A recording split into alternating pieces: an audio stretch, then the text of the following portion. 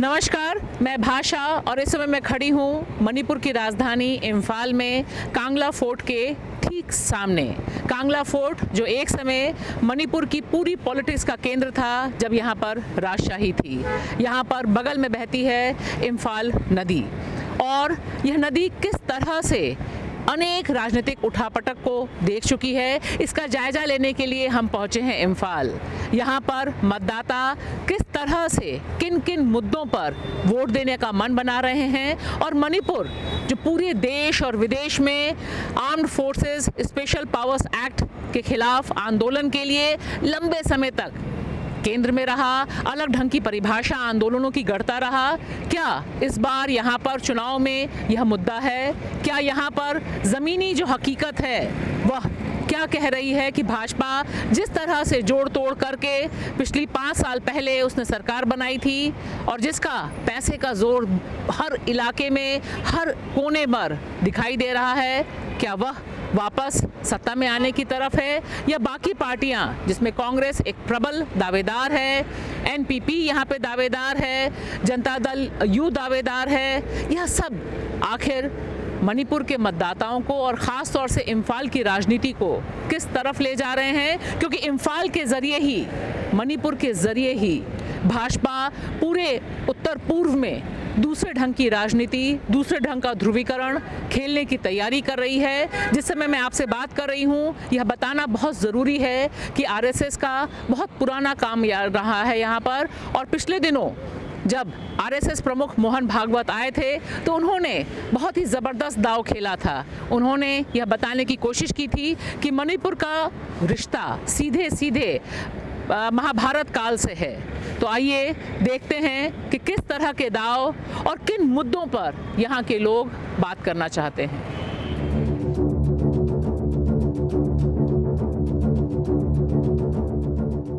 इस समय हम मणिपुर की राजधानी इम्फाल में एक ऐसे शख्स के पास पहुँचे हैं जो किस तरह से मानवाधिकारों के लिए लड़ाई लड़ी जा सकती है, कितना भी मुश्किल दौर क्यों ना हो, बबलू जी की आवाज़ देश और दुनिया में चारों तरफ़ रही। वह ह्यूमन राइट अलर्ट से लंबे समय से जुड़े हुए हैं, इसको खड़ा किया है। उनका पूरा नाम है बबलू लोईतोम्बम मैं आपसे जानना चाहूँगी कि आप बतौर मणिपुर नागरिक, बतौर ह्यूमन राइट एक्टिविस्ट यहाँ पर क्या मुद्दे हैं जो आपको लगता है कि होने चाहिए? तो दरअसल क्या सीन है ह्यूमन राइट्स का या बाकी जो ज़मीनी मुद्दे हैं, उनकी राजनीति में कितनी पूछ पहुँच बनी है? हाँ जी हम लोग ये कोशिश किया है मणिपुर में जो भी चुनाव चलता है वो सिर्फ़ पैसा के हिसाब से मसल के हिसाब से चलते जा रहा है। तो हम लोग ने इस बार सिविल सोसाइटी के लोग इकट्ठे होके हम लोग ने ये सोचा है कि हमारा आम जनता का लोग जो, मुद्दे जो है उसको थोड़ा ये इलेक्शन में भी ये इलेक्शन कैंपेन में उसको थोड़ा बहुत उसके ऊपर चर्चे करें तो हम लोग का फ़ायदा होगा। इसीलिए हम लोग जो अलग अलग सिविल सोसाइटी के लोग अलग अलग मुद्दे पे जो काम कर रहे हैं, वो सब इकट्ठे करके हम लोग ने नवंबर में, जो मैनिफेस्टो आने से पहले पॉलिटिकल पार्टीज़ का एक पीपल्स मैनिफेस्टो हमने खड़ा करके रखा है। इसमें 27 पॉइंट्स दे रखा है अलग अलग मतलब थीम्स से चाहे वो ह्यूमन राइट्स हो वुमेंस हो ड्रग का समस्या हो फार्मर्स का इशू हो एग्रीकल्चर का क्राइसिस हो यूथ का प्रॉब्लम हो ये सब इकट्ठे करके हमने ट्वेंटी सेवनटीन नवंबर में हमने ये रिलीज़ किया है और सारे पॉलिटिकल पार्टीज़ को हमने ये दे रखा है और बोला है हम लोग एक डायलॉग करना चाहिए इसका कितना असर पड़ा? आ, इसका कम से कम बहुत पॉलिटिकल पार्टीज़ लोग उस पर अपना मैनिफेस्टो में डाला हुआ है। और हम लोग ये इनवाइट भी किया है, हम लोग उसको एक डायलॉग करना चाहिए। तो कांग्रेस का मैनिफेस्टो कमेटी आके हमारे साथ बातचीत किए है और उसके साथ साथ ये नेशनल पीपल्स पार्टी भी साके हम लोग के साथ आ, आ, पूरा उसका इलेक्शन मैनिफेस्टो का अलग अलग मुद्दे पे हम लोग बातचीत चर्चा चला है। तो क्या आपके लिए आ, कैसे रहे बीजेपी के पाँच साल देखिए बीजेपी का पहले तो बहुत यूफोरिया था। कांग्रेस का पंद्रह साल रहने से एक फ्रेश आइडिया आने का बहुत लोग एक्सपेक्ट कर रहे थे। मगर धीरे धीरे ये हम लोग देखते जा रहे हैं कि ये अपना सिविल सोसाइटी का सिविक स्पेस जो है कॉन्स्टेंटली इरोड होते जा रहा है। और जर्नलिस्ट लोग एक गवर्नमेंट को थोड़ा सा क्रिटिकल लिखे तो उसको फटाफट ये अनलॉफुल एक्टिविटीज़ प्रिवेंशन के हिसाब में मतलब अंदर ले जाता है। तो ये जो नेशनल सिक्योरिटी के लिए बनाया हुआ नेशनल सिक्योरिटी एक्ट जो है एक तरह से तो नेशनल सिक्योरिटी के काम पे तो नहीं यूज़ कर रहे एंटी बीजेपी का का ऊपर पे आ, मतलब आ, काम कर रहे। हैं और देखिए मणिपुर का पॉपुलेशन इंडिया का एक परसेंट भी नहीं है हाफ़ परसेंट भी नहीं है ज़ीरो पॉइंट फोर परसेंट है। मगर अनलॉफुल एक्टिविटीज़ प्रिवेंशन के अंदर कितने लोग कब्जे किए हैं देखे तो आप नेशनल क्राइम ब्यूरो रिपोर्ट में देखे तो हम लोग 32 परसेंट है। 0.4 परसेंट इंडिया का नेशनल सिक्योरिटी के जो लेजिस्लेशन के अंदर वो कब्जा किया है 32 परसेंट है।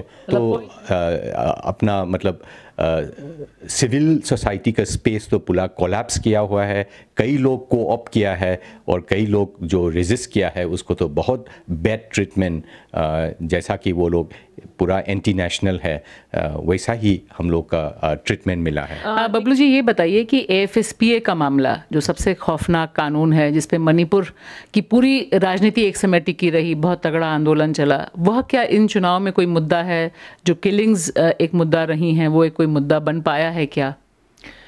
देखिए हर पॉलिटिकल पार्टीज़ ने अपना मैनिफेस्टो में अफस्फा रिपील करने का बात बोला है एक्सेप्ट बीजेपी बीजेपी ही नहीं बोला है। मगर जब तक आप वोटर्स को इनका वोट मांगने के लिए चलेगा और उसका जीने का हक जो है वो तो छीनेगा। ये तो कॉन्ट्रडिक्शन होता है ना।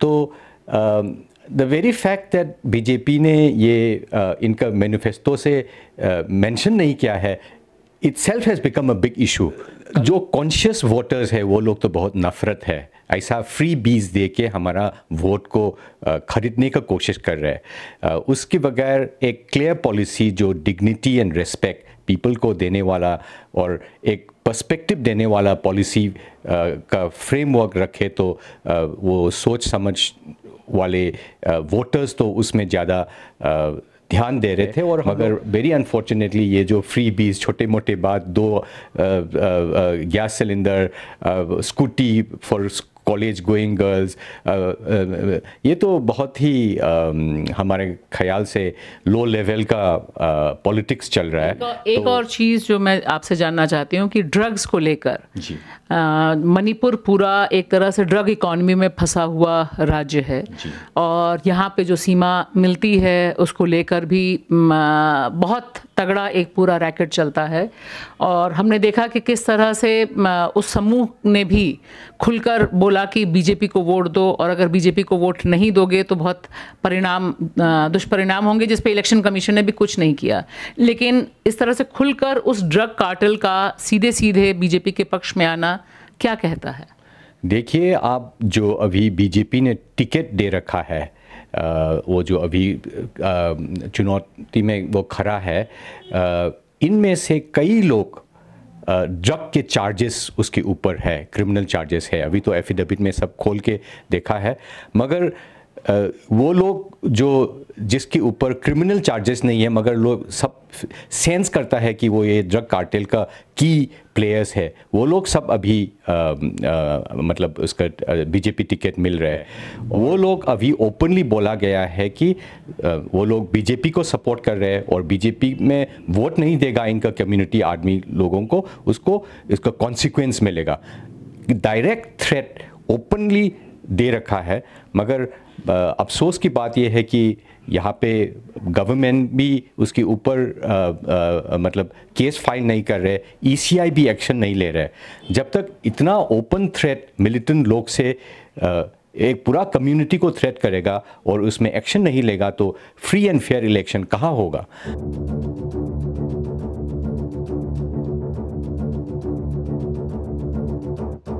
अच्छा ये बताएँ कि एएफएसपीए कोई मुद्दा है क्या इन चुनाव में? पहली बार हुआ आसपा पहली बार हुआ है कि armed forces special power act पर हाँ तमाम पॉलिटिकल पार्टीज़ ने अपने घोषणा पत्र में कहा कि वो हटाएँगे। सिर्फ़ भाजपा ने नहीं कहा तो क्या कोई मुद्दा बना है ये ये पहले तो मुद्दा नहीं है ऑब्वियसली मुद्दा नहीं मगर peoples are very conscious about the आसपा but the but the concerned ministers are not concerned. Just Recently, there is interview on Honorable Chief Minister of Manipur. They are telling uh, if the government is coming, the BJP government is coming, they will uh, remove the AFSA. But the question is how the people are not uh, aware and people are not conscious of the set given by those uh, जो government ने जो वादा किया था मगर आम आदमी ने नहीं मिला था ये अच्छा नहीं लगा इसलिए जो पीपल वो नहीं देना चाहता हूँ मगर नौता में देना चाहता हूँ फिर भी तो वो क्या होता है जो आपने अगर खरीद बोतल खरीद लेता है आजकल क्यों? आप बोतल का दा- आ- दाम आजकल दस हज़ार हो गया पहले तो दो हज़ार एक हज़ार में होता है आजकल का दस हज़ार। आ, आपका क्या नाम है और आपके हिसाब से चुनाव में क्या मुद्दे होने चाहिए थे? Actually it should be employment and development जो रिलीजन का ये मतलब polarisation it's not be the issue ये हमेशा डेवलपमेंट और एम्प्लॉयमेंट पे रोज़गार रोज़गार पे बार होना चाहिए। हाँ ये और ये अभी जो अभी जो हम लोग का दिशा पे जा रहे हैं, सही, बिल्कुल गलत दिशा पे जा रहा है।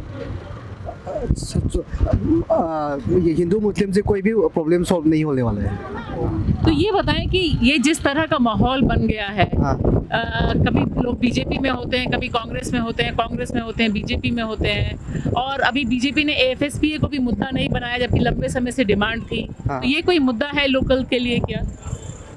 Actually we are too too over dependent on the centre जब भी जो सेंटर में जो गवर्नमेंट आता है हमेशा यहाँ पे, यहाँ का पॉलिटिशियन का कोई आइडियोलॉजी ही नहीं होता है यहाँ पे। सो हमेशा वो जहाँ पे जो सेंटर में होता है, उसके पीछे पीछे भगता रहता है। तो कोई आइडियोलॉजी नहीं है और और and most importantly the people here I mean they don't exercise their voting right properly हमेशा यहाँ पे पैसा से खरीदारी करके तो हाँ ये people are equally guilty at the same time ये politicians are all bullshit here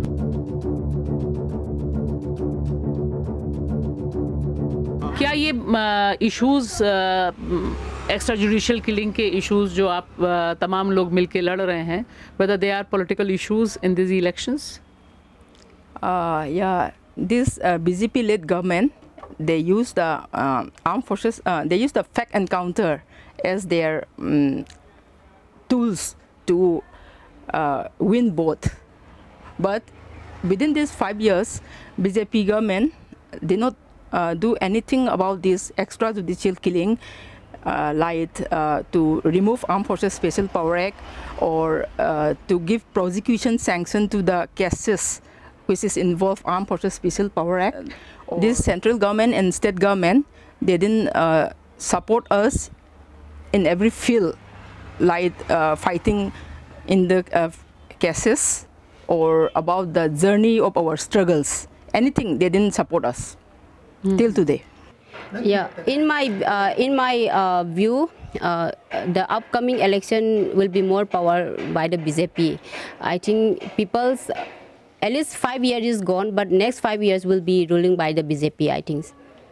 What are the reasons for it क्यों भाजपा को ही वापस लोग चुनेंगे But most of the people didn't like the this BJP, but you know they are many money power and muscle power because of that. God, they are pressuring to. But the center is now is in power, uh, so maybe Manipur will be coming if the center is power. Manipur will be surely coming ruling by the BJP. ruling by the BJP. हाँ. So no chance for the Congress? I think no hope for Congress.